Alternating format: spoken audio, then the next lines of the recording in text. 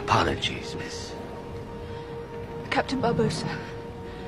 I am here to negotiate the cessation of hostilities against Port Royal. There are a lot of long words in there, miss. We're not but humble pirates. What is it that you want? I want you to leave and never come back. I'm disinclined to acquiesce to your request. Means no. Wait! Make good the clear for one. You have to take me to shore!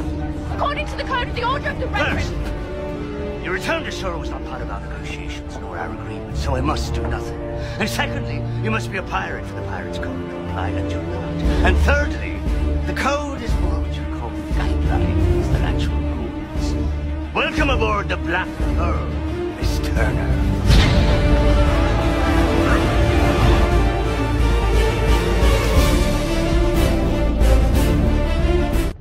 Feel nothing. Not the wind on my face, nor the spray of the sea, nor the warmth of a woman's flesh. You best start believing in ghost stories, Miss Turner. You're in one.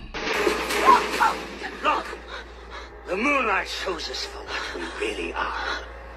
We are not among the living, and so we cannot die. But neither are we dead. For too long I've been parched of thirst and unable to quench it. Too long I've been starving to death and haven't died. I feel nothing. Not the wind on my face, nor the spray of the sea, nor the warmth of a woman's flesh.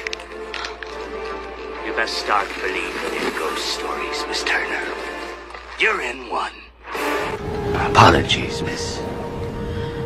Captain Barbossa. I am here to negotiate the cessation of hostilities against Port Royal. There are a lot of long words in there, miss. We're not but humble pirates. What is it that you want? I want you to leave and never come back. I'm disinclined to acquiesce to your request.